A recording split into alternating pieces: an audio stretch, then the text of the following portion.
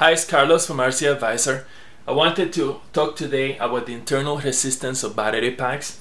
This is uh, these are numbers that uh, many use as a gauge of the the quality of a battery, especially as the quality goes down as the battery gets older.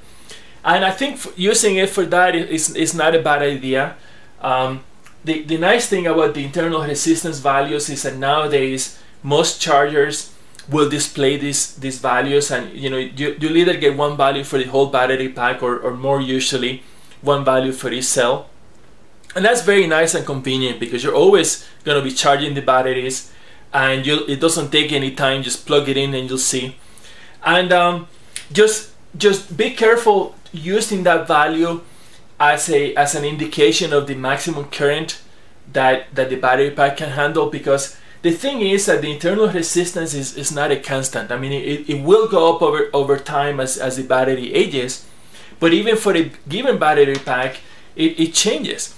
Um, first of all, it's going to change as the battery is, is discharged. Now, it's not, it shouldn't change a lot in that case, but it's going to change more depending on the, on the temperature, the ambient temperature. And especially if it's cold outside, the internal resistance is going to go way up.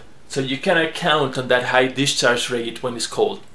And um, but it's not. It wouldn't be bad a bad idea to take a new battery pack and write on it the total internal resistance, which is normally in milliohms, and and just keeping an eye on that over time. And you know, if it doubles, I will be concerned. But it really depends on your application.